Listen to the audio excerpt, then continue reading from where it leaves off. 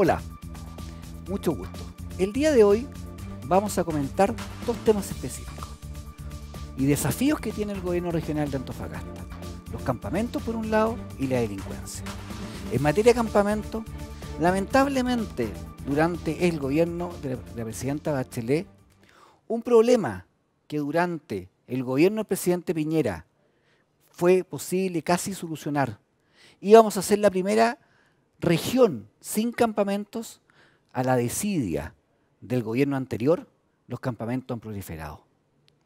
Es un gran problema, es una gran problemática social de seguridad que este gobierno, el gobierno regional de Antofagasta, va a tener que enfrentar.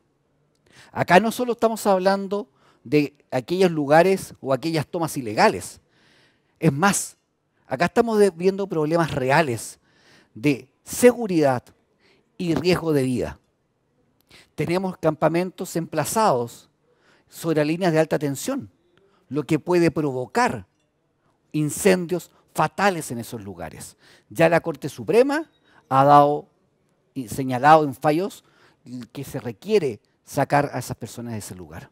Pero también tenemos otro lugar muy importante y con mucha inseguridad, que son aquellos campamentos emplazados sobre la servidumbre de agua potable. Estamos en un riesgo real, no solo para las vidas de las personas que viven en los campamentos, sino también para aquellas personas que viven abajo de, de esa zona. En cualquier momento, ni Dios lo quiera, se puede generar la rotura de esa matriz y una gran aluvión. Es fundamental que el gobierno regional, que el intendente y también la gobernación haga un ejercicio y un trabajo a objeto de poder erradicar a los campamentos de ese lugar. La razón es una, no es otra que la vida de las personas que se encuentran emplazados en esos lugares.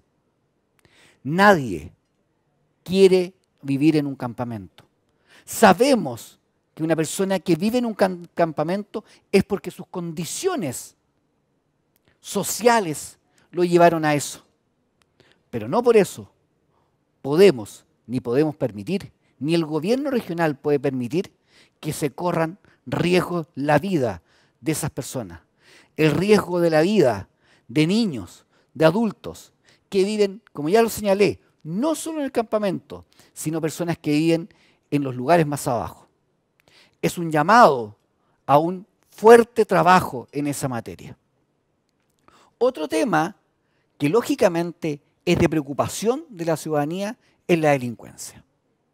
Acá no solo se tiene que trabajar en lo que es la en bajar los índices de delincuencia, sino que también en algo muy importante, que es la percepción.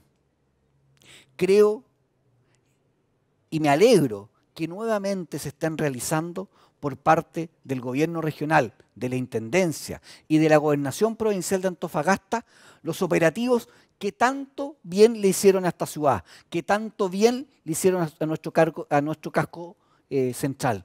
Aquellos operativos que se integraba la Policía de Investigaciones, Carabinero, la Municipalidad, la Seremía de Salud.